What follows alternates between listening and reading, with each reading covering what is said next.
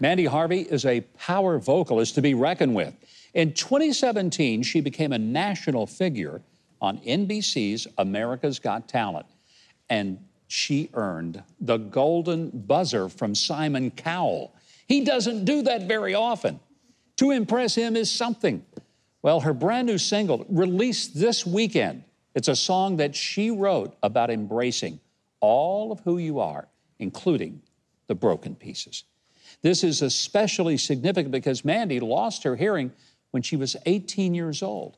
She joins me now with her sign language translator, Robin. Would you please welcome the lovely Mandy Harvey?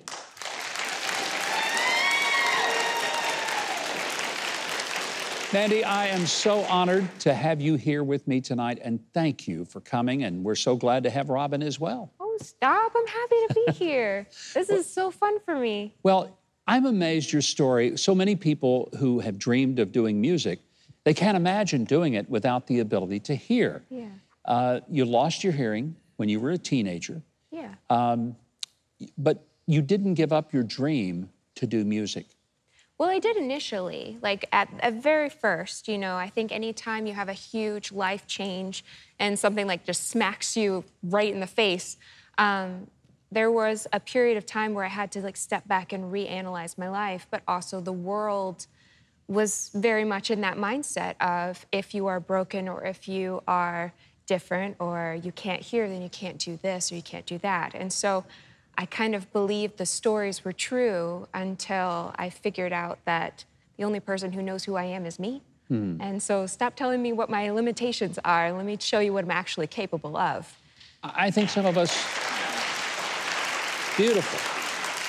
Some of us are amazed that you would be able to sing on pitch when you yeah. can't hear the notes. So, describe for us how you're able to sing on pitch, which you obviously do, uh, and to keep the beat when you can't hear it. Yeah, I mean, it's a lot of work. I think uh, at the, the cornerstone of it all, I'm a musician, hmm. period. And so hearing or deaf musician stays. And so, as a musician, as a person who's kind of obsessed with figuring it out, I have created systems that work for me.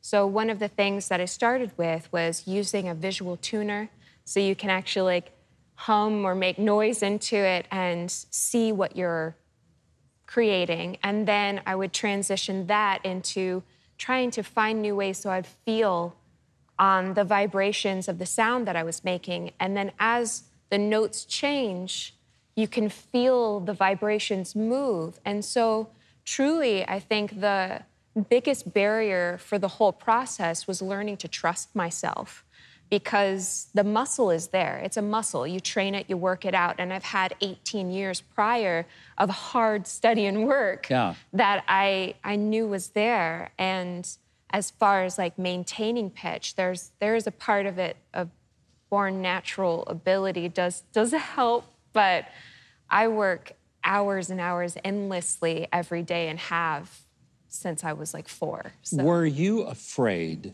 the first time you tried to sing, knowing that you couldn't hear it and you were depending on the tuner?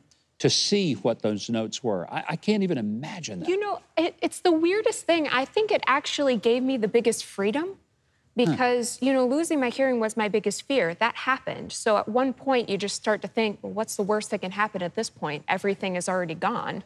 So if i mess up at this point who cares? You know um, it's given me an incredible freedom to be able to sing without being able to judge myself.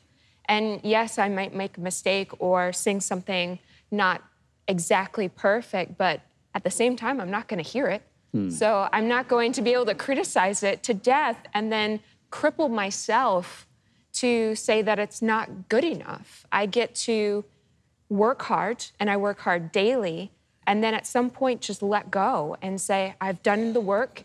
If it happens, if it's successful, fantastic. If I make a mistake, I'm human and I tried. What a beautiful way to live life, not just for singing, but for living. You know, Mandy, one of the things that was surprising to me, not everyone in the deaf community embraced your ability to sing and to continue to be vocal. Uh, I was sort of stunned to find out that there were some people that were very angry at you and even uh, sent you nasty letters. Yeah. That must have hurt when people didn't appreciate how hard you were working to be able to continue your dream. I think I'm in, as a person who's connected with politics, you know that you can't please everybody. And Yes. sometimes the people with the loudest voices are the smallest groups of people. And so I was genuinely loved by a lot of people. There's always going to be somebody that you, you know, hack off, you know, but um, it's, it gave me a decision to make. I either allow those voices to prevent me from pursuing my dream, or I say, okay, there's reasons for that pain to exist. I want to learn more about why they feel that way so that I can improve my understanding of that hurt that's hmm. there. But at the same time, move forward with what I'm going to do anyway. So embrace and then hopefully find a compromise or just let them know that I actually care and still pursue my dream. Mandy, I, I want to say this to you before you sing for us. You are a beautiful person, inside and out, and you inspire us all. I am so grateful, Thank you. just grateful for you. I'll, I'll give that thanks right back to my parents. So it's like uh, for both well, of it. let me tell our audience Mandy Harvey's song Masterpiece. It's available everywhere music is sold and streamed. You can find all of her music and her inspirational story at mandyharveymusic.com. On your screen, write it down and order it.